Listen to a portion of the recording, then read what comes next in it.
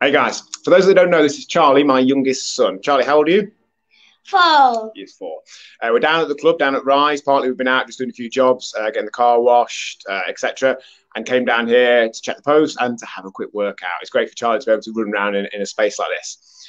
Uh, and Charlie sometimes does his own versions of workouts. And today he did a deadlift. And how did that deadlift go, Charlie? Good. It went good.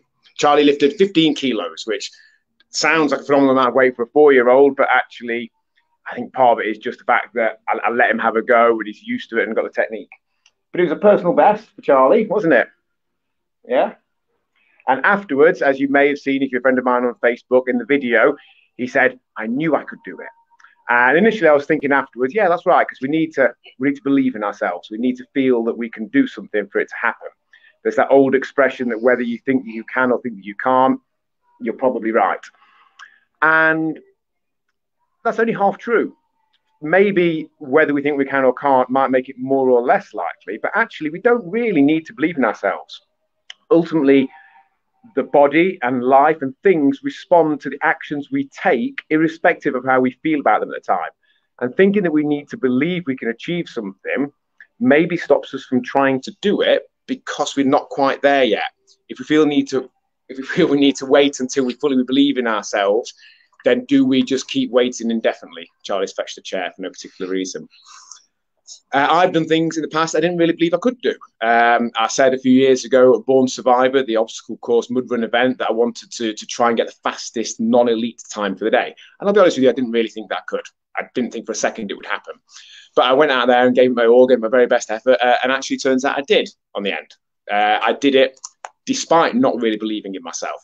I, I gave it my best bet and a best go, and I was happy to fall short having tried my very hardest um, some of the things that I've done exercise wise or business wise, there was always that element of doubt in my head as to whether or not I could do it. But I did the things that needed to be done and the result came.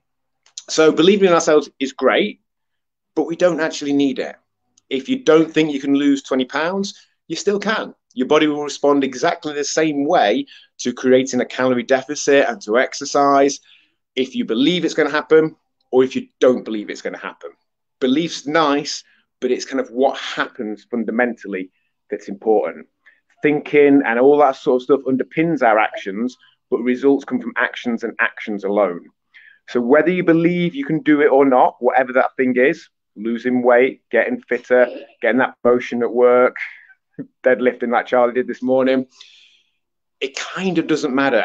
If we just choose to do those things that will lead to that result, the result will come if we're doing the right things, irrespective of how we feel.